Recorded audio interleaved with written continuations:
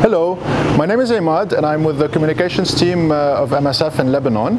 Uh, we're here in Mar Mikhael today, which is one of the neighborhoods in Beirut that were heavily affected by the explosion on August 4. Uh, right after the explosion, MSF took over this uh, little restaurant here. Uh, we set up this tent right outside, as you can see behind me. Uh, it's a tent where we started immediately to treat people that were suffering of wounds, of cuts. also in this tent, we were doing COVID tests. This is the main door. This is the first step for anyone trying to go into the clinic. Uh, they walk through. You can see already that there are some signs for uh, wearing face masks. Uh, there are the hours of the clinic, but there's a whole process, as you will see in a minute, uh, to make sure that people are safe and protected for COVID uh, just before they enter the main space.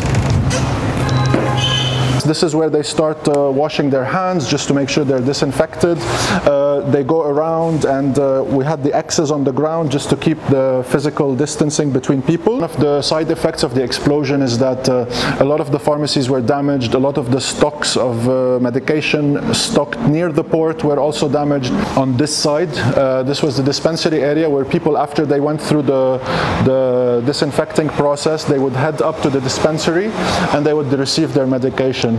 As I mentioned, this used to be a restaurant, so this was the bar here. The other service that we were providing in this uh, space, and we still continue to do this today, uh, it's the mental health consultations. So we're going to head in that direction. So in that space, uh, we have two tents that are uh, closed off, and these tents, uh, that's where the one-on-one -on -one consultation happens between an MSF psychologist or psychiatrist and uh, a patient. one of the things that our mental health professionals noticed right after the explosion is that the immediate need was psychological first aid. So it's uh, dealing with the immediate emotions after any incident like this and after this explosion specifically. And it quite literally meant going out in the street and talking to people, dealing with people who are still under the shock.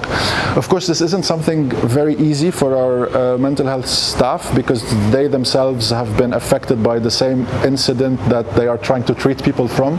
So that was there was a phase where people were just trying to fix the immediate needs, and it's only after that that the mental health uh, uh let's say, symptoms or issues start to appear, and uh, people start to take them into consideration as something that needs to be to be cared for. So some people are still losing sleep. Some people are still unable to focus. Are very dispersed? A lot of children are uh, are bedwetting. A lot of children are refusing to leave the house uh, for fear that something might happen if they leave.